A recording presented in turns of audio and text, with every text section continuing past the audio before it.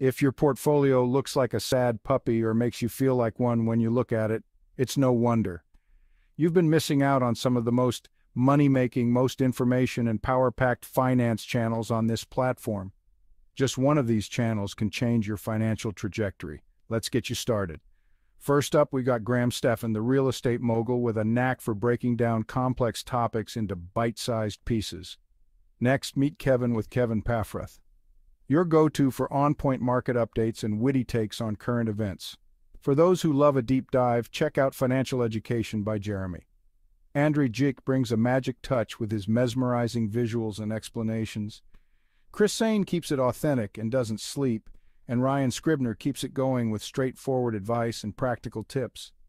Minority Mindset with Jaspreet Singh is all about wealth building strategies from a fresh perspective. Below, Joseph Carlson's channel and Let's Talk Money with Joseph Hogue are perfect for dividend investing enthusiasts.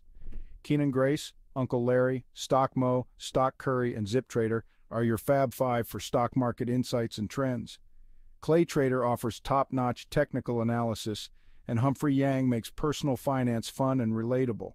Check out Pat Flynn, and definitely check out Troy, Rashad, and Ian at Earn Your Leisure, the Wall Street Trapper, for a dose of entrepreneurial spirit and inspiration.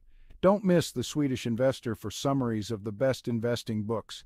And finally, take a walk down Penny Lane with the up-and-coming stock brother. Go on and hit that subscribe button on any of the listed channels. You have everything to gain. Your future self will thank you. Happy investing. This is not financial advice.